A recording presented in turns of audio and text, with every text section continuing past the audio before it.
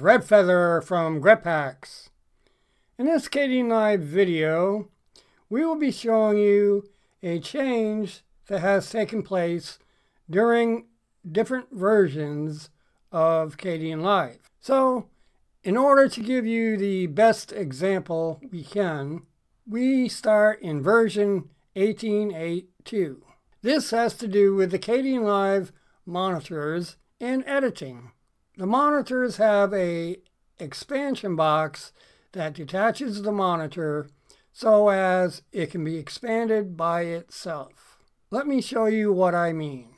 And to me, this is a very important feature of Kdenlive and makes it a lot easier to sync my audio to the video.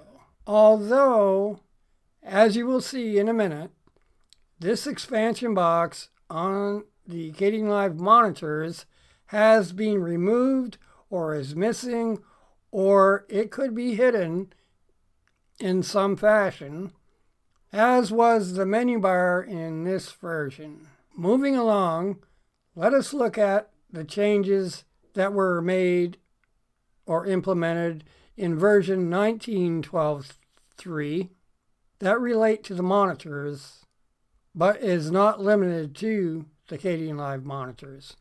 Hovering inside on the side of the monitor brings up a drop-down menu with features allowing full screen zoom, zoom in, and zoom out of the Kdenlive monitor. Although at this point the expansion box is still present.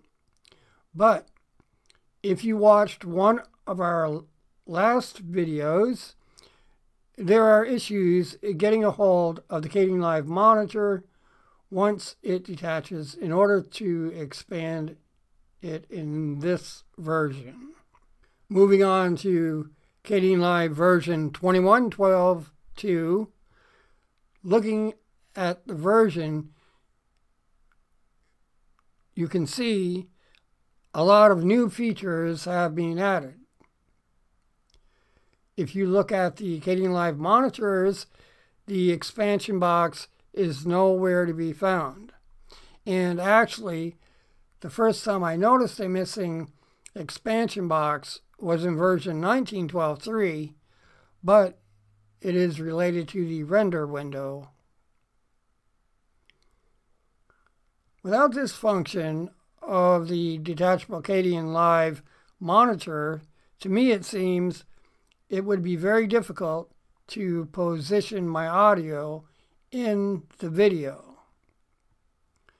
But to be honest, there is a chance we have not spent enough time on version 21.12.2 of Kdenlive, and maybe there is a different way of doing things.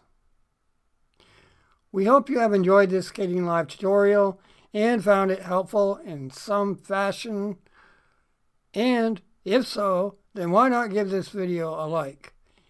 And while you're at it, why not become a subscriber and ring that bell in order to be notified your way of newly released videos. I mean, after all, ladies and gentlemen, it is free. The beginning and the end of this video has been provided by none other than Alex of AU1. Thank you in advance. I am out.